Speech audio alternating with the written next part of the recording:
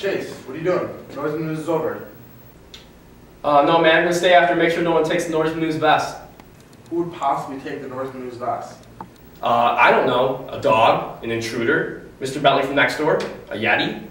Uh, alright, man. Alright, hit the lights, man.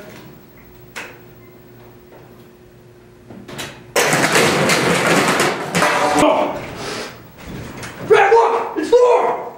It's Thor!